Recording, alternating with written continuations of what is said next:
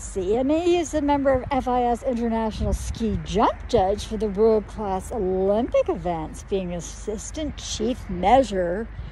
Shakaru, 1980 at the Olympics in Lake Placid, New York. Mr. Falk is an executive president. Oh, Mr. Falk was, was being the operative word, the executive vice president of New York Institute of Photography. Max and Falk, if you're listening, if you ever see this video, this is your Falk history, okay?